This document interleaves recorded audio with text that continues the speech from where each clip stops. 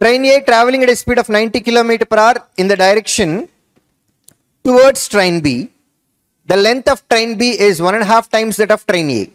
Train B is traveling at a speed of 54 km per hour and crosses train A completely in 10 seconds. What is the length of the platform? Which train A can cross it in 35 seconds? So first of all, length of train B is one and a half times of train A. If train A length is 2x, train B length becomes 3x. If train A crosses train B, distance covered is train length A plus B only. Distance is equal to speed into time. In which direction both are moving? Opposite direction. How do you know that? Towards train ఇక్కడ train B ఉంది అని అనుకుందాం ఇది ఇటు పోతా ఉంది train A ఇది train A is moving towards train B only come on and both are moving in the same direction only yes so how can you decide that towards train B అనే దాన్ని ఎట్లా decide చేస్తారు మీరు? Crosses is the word which decides that same డైరెక్షన్లో వెళ్తుంటే crossing అంటామా? ఏమంటాం? Overtaking opposite డైరెక్షన్లో వస్తుంటే క్రాసింగ్ అంటాం okay? Crossing comes to picture only when both are moving in opposite direction. If both are moving in the same direction overtakes comes to picture okay? Right. Now speed of train A train B.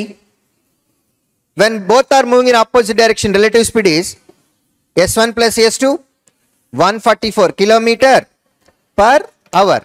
Will convert in to metre per second why ఎందుకు? ఇక్కడ time అనేది మనకి ten seconds అన్నారు. Answer కూడా మీటర్స్లో అడిగారు. అవునా? కాబట్టి will convert kilometre per hour to metre per second and how much time is it taking మాట్లాడాలి.